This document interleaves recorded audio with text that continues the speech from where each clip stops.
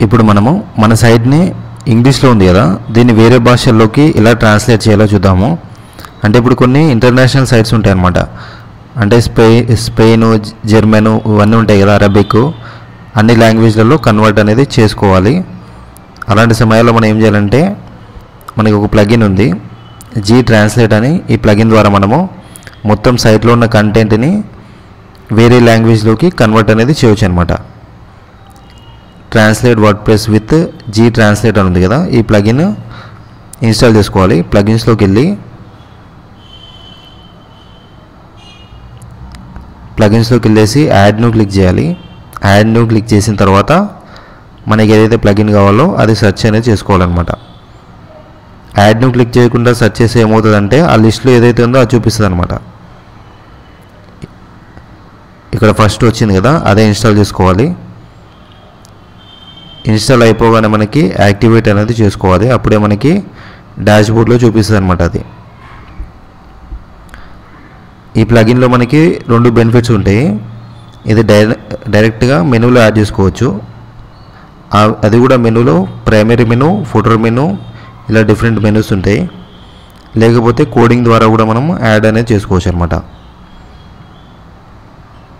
Install అయిపోయింది. Activate చేస్తున్నా. Activate చేయగానే మనకి డాష్ బోర్డ్లో వచ్చేస్తుంది అది.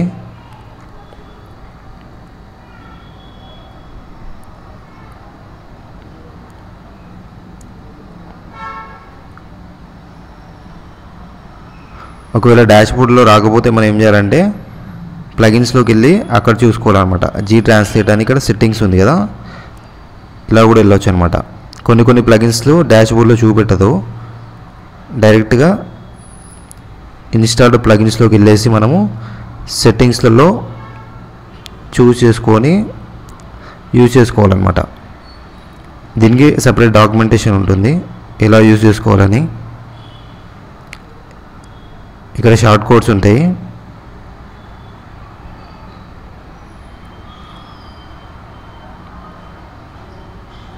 ఇన్స్టాలేషన్ ఉంది కదా. డిస్క్రిప్షన్లో ఏం లేదు.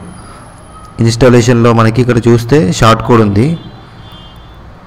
ఈ షార్ట్ కోడ్ ఏంటంటే మనము ఎక్కడంటే అక్కడ కాల్ చేసుకోవచ్చు అనమాట అంటే పిహెచ్పి టెంప్లెట్స్ ఉంటాయి కదా ఆ టెంప్స్ టెంప్లెట్లలో ఎక్కడైనా కాల్ అనేది చేసుకోవచ్చు. ఇక్కడ థీమ్ ఎడిటర్లోకి వెళ్తున్నా.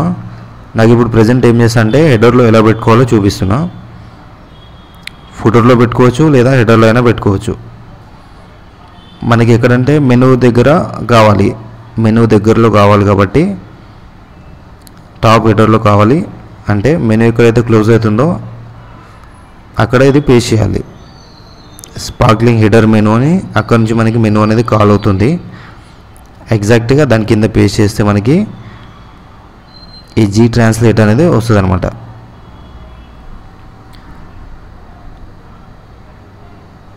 ఇది ఫస్ట్ మెథడ్ కాల్ చేసుకోవడానికి ఎక్కడైనా. ఇప్పుడు రిఫ్రెష్ చేస్తున్నా.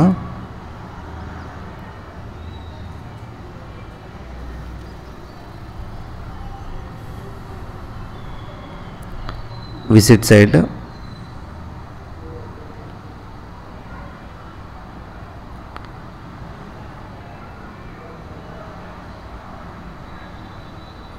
ఇక్కడ కింద వచ్చింది.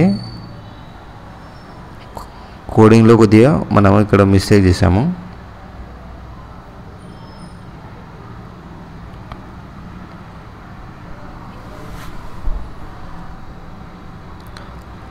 ప్లగిన్స్లోకి వెళ్దాం. మళ్ళీ ప్లగిన్స్లోకి వెళ్ళేసి సెట్టింగ్స్ చూద్దాము. సెట్టింగ్స్లో ఉంటాయి మ్యాక్సిమము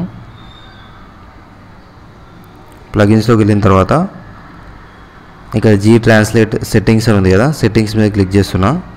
ఇక్కడ మనకి డిఫరెంట్ డిఫరెంట్ ఆప్షన్స్ ఉన్నాయి. అంటే ఎలా కావాలి అది అని చెప్పేసి డ్రాప్ డౌన్ కావాలా లేకపోతే ఎలా డిస్ప్లే కావాలి ఫ్లాగ్స్ తోట అని చెప్పేసి మనకి ఇక్కడ చాలా ఆప్షన్స్ ఉన్నాయి.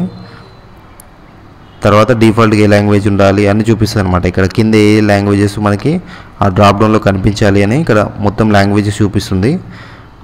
మనం ఏదైతే లాంగ్వేజ్ కావాలో అన్ని టిక్ కొట్టుకోవాలన్నమాట. ఇక్కడ ఏదైతే టిక్ కొడతామో మనకి అక్కడ లాంగ్వేజ్ ట్రాన్స్లేట్లో వస్తాయి. ఇక్కడ ప్రైమరీ మెనూలో కావాలి అని ఇక్కడ show in menu primary menu అంటే ఫస్ట్ మెనూ అనమాట ఫుడర్ మెనూ ఉంది సోషల్ మెనూ ఉంది అనమాట ఫుటర్ మెనూలో యాడ్ చేయట్లేదు. ఇప్పుడు ప్రైమరీ మెనూ మెను పెట్టాం కాబట్టి మనకి హోమ్ పేజ్లో ఏదైతే మెనూ ఉందో అక్కడ వచ్చేస్తుంది ఇప్పుడు డైరెక్ట్గా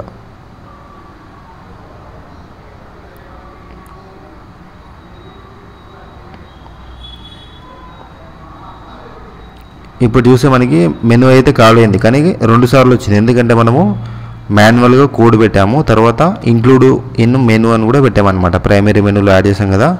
అందుకే రెండు వచ్చినాయి అనమాట కానీ ఇప్పుడు ప్రజెంట్ మనకి ఏంటంటే డైనమిక్గా అంటే మాన్యువల్గా కాల్ చేసాం కదా. అది అవసరం లేదు మనకి. అది ఏంటంటే జస్ట్ ఎలా యాడ్ చేయాలో చూపించడం కోసం చూపించిన. ఇప్పుడు మళ్ళీ తీసేద్దాము. థీమ్ ఎడిటర్లోకి వెళ్ళేసి ఎక్కడైతే పిహెచ్పిలో అదే మెనూ కింద పెట్టాం కదా దాన్ని తీసేయాలి ఇప్పుడు. ఒకవేళ ఏదైనా టెంప్లెట్లో కాల్ చేయాలనుకుంటే ఇదనమాట షార్ట్ కోడ్. ఈ షార్ట్ కోడ్ ద్వారా మనము కాల్ అనేది చేసుకుంటాము. ఎక్కడ పెట్టినామంటే జస్ట్ హెడర్ మెనూ కింద పెట్టాము స్పార్క్లింగ్ హెడర్ మెనూ కింద. అది అవసరం లేదు ఇప్పుడు. ఎందుకంటే మనకి డైరెక్ట్గా మెనూలోనే ఇంక్లూడ్ చేసుకోవడానికి ఆప్షన్ ఉంది కాబట్టి ఇప్పుడు రిఫ్రెష్ చేస్తున్నా. ఓన్లీ రెండు మెనూలు ఉన్నాయి కదా ఒకటే మెనూ వస్తుంది. ఇక్కడ మెనూ అనేది డిస్టర్బ్ అయిపోయింది. ఎందుకంటే మనకి కొత్తది వచ్చింది కాబట్టి. దాని ప్యాడింగ్ తగ్గిస్తే అది మొత్తం సెట్ అయిపోతుంది. ఇప్పుడు ఎందుకంటే అది కనబడట్లేదు. దాని మీద ఓవర్ చేసి చూస్తే మనకి డ్రాప్ డౌన్లో వస్తాయి అన్నీ. ఇప్పుడు చూస్తే దీనికి కొద్దిగా కలర్ అనేది అడ్జస్ట్ చేసుకోవాలి. మన సైట్లో ఏదైతే డిఫాల్ట్ కలర్ ఉందో అది తీసుకుంది అంతకంటే ముందు మనము కొద్దిగా ప్యాడింగ్ అనేది తగ్గించుకోవాలి దీన్ని. ప్యాడింగ్ తగ్గిస్తే ఏమవుతుందంటే అన్నీ పర్ఫెక్ట్గా అడ్జస్ట్ అవుతాయి. మెనూ పర్ఫెక్ట్గా ఉంటుంది. మెనూ పక్కన మనకి రిజిస్టర్ డౌన్ బటన్ ఉంది కదా దాని పక్కకి మనకి ఈ ట్రాన్స్లేట్ అనేది వస్తుంది అనమాట డ్రాప్ డౌన్ మనం ఏం చేసామంటే ప్యాడింగ్ రాసుకున్నాము. ప్యాడింగ్ తగ్గిస్తే ఆటోమేటిక్గా అది అడ్జస్ట్ అయిపోతుంది అనమాట అయిపోయింది. ఇప్పుడు పర్ఫెక్ట్గా సెట్ అయింది. కానీ మనకి అక్కడ ట్రాన్స్లేట్ కనబడతలేదు అనుకోవద్దు. ఎందుకంటే సేసెస్ ఉందన్నమాట. ఇప్పుడు ఏదైతే మెనూ అడ్జస్ట్ చేసామో ప్యాడింగ్ మనం ఆల్రెడీ ప్యాడింగ్ పెట్టాం కాబట్టి దాన్ని సెర్చ్ చేస్తున్న క్లాస్ని ఆల్రెడీ ఉన్న ఉన్న ప్యాడింగ్ తీసేసి మనం ఏదైతే ఇప్పుడు అడ్జస్ట్ చేసిన ప్యాడింగ్ ఉందో ఆ ప్యాడింగ్ అనేది ఇచ్చుకోవాలన్నమాట. ఇక్కడ ప్యాడింగ్ ఎంత ఉందంటే చాలా ఎక్కువ ఉంది. ప్యాడింగ్ తీసేస్తున్నా. ఇది కొత్తది కాబట్టి ఫ్రెష్ ఇది. కొత్తది కాబట్టి ఓపెనింగ్ క్లోజ్ బ్రాకెట్స్ పెట్టి ప్యాడింగ్ మనం ఎంత అడ్జస్ట్ చేసామో అంత పెడుతున్నా. ఇక్కడ ఇంపార్టెంట్ పెట్టుకోవాలన్నమాట. ఎందుకంటే ఆల్రెడీ ఇక్కడ ఉంది ఉంది కాబట్టి వస్తుంది కాబట్టి అది అవసరం లేదు. దీనికి ఇంపార్టెన్స్ ఇవ్వాలి అని చెప్పేసి ఇంపార్టెంట్ అనమాట ఇంపార్టెంట్ అంటే మీనింగ్ అది. ఆల్రెడీ ఇప్పుడు వేరే చోటు నుంచి వస్తుంది అనుకోండి అది డిఫాల్ట్ది అది అవసరం లేదు నాకు నేను రాసింది నాకు ఇంపార్టెంట్ అన్నప్పుడు మనం రాసిన దగ్గర ఇంపార్టెంట్ అని పెట్టాలన్నమాట. అప్పుడు అది మనం ఏదైతే రాసామో దానికే ఇంపార్టెన్స్ ఇస్తుంది. ఇక్కడ డ్రాప్ డౌన్ ఉంది కదా డ్రాప్ డౌన్కి మనం కలర్ అనేది చేంజ్ చేసుకోవాలి.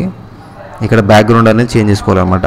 అంటే డ్రాప్ డౌన్ ఏదైతే ఉందో అక్కడ జీ ట్రాన్స్లేట్ డ్రాప్ డౌన్కి మనము బ్యాక్గ్రౌండ్ కలర్ చేంజ్ చేసేటప్పుడు మనకి ఏదైతే ఇక్కడ డ్రాప్ డౌన్లో చూపిస్తుందో ఆప్షన్స్ అవి పర్ఫెక్ట్గా కనిపిస్తాయి అన్నమాట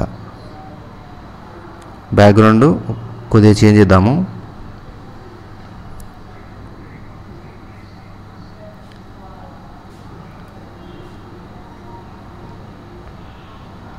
ఒకసారి ట్రాన్స్లేట్ చెక్ చేద్దాము.